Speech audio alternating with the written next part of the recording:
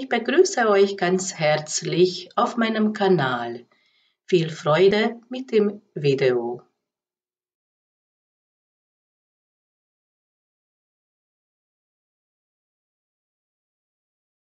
Ich erzähle euch eine Geschichte über den Sternenhimmel. Dort oben gibt es ein Königreich und passiert immer wieder etwas Neues. Ja, ist immer was los.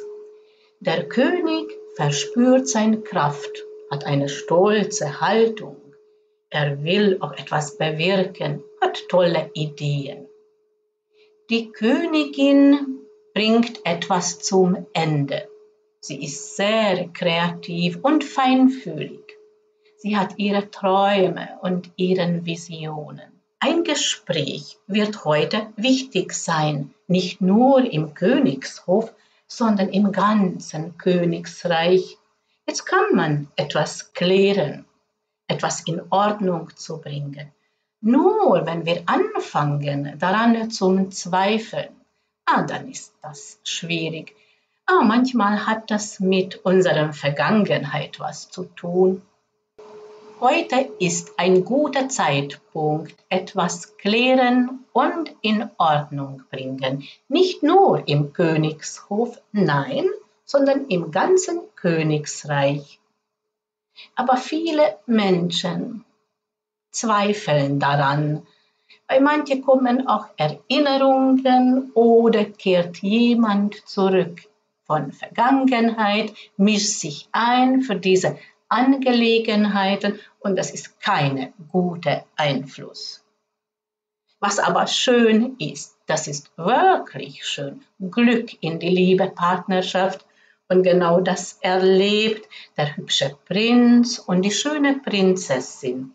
Jetzt kommt die Annäherung von ihr. Sie besucht ihn und dieses Treffen ist schön und angenehm. Diese Geschichte, was ich euch erzählt habe, hat selbstverständlich astrologischen Hintergründe nach indischen Berechnung. Sonne bewegt sich in Löwe und das bedeutet, der König zeigt Kraft und Stolz und setzt etwas in Bewegung. Immerhin ist es Feuerelement. Die Königin bringt etwas zum Ende. Mond bewegt sich in Tierkreiszeichen Fischen in Mondhaus Revati. Das ist die letzte Mondhaus und bedeutet etwas zum krönenden Abschluss bringen. Merkur bewegt sich im Diamant und das heißt, es ist möglich, klärenden Gesprächen führen.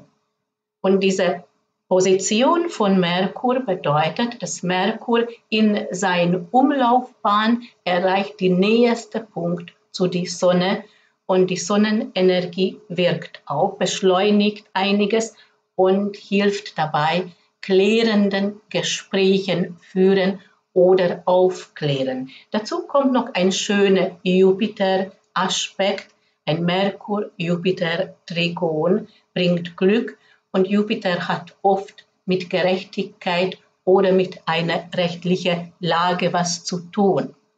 Merkur bildet aber ein Quinkungsaspekt zum Saturn und das entspricht dieser Unsicherheit. Hat auch mit Vergangenheit was zu tun. Saturn ist nämlich rückläufig. Dann nähert sich eine Verbindung zwischen Jupiter und einem rückläufigen Neptun, ein sogenannten Quadrat. Und das erschwert die Situation. Das hat auch mit Vergangenheit was zu tun. Oder kehrt jemand zurück von Vergangenheit und macht Schwierigkeiten. Venus nähert sich zum Mars und das bedeutet ein Treffen.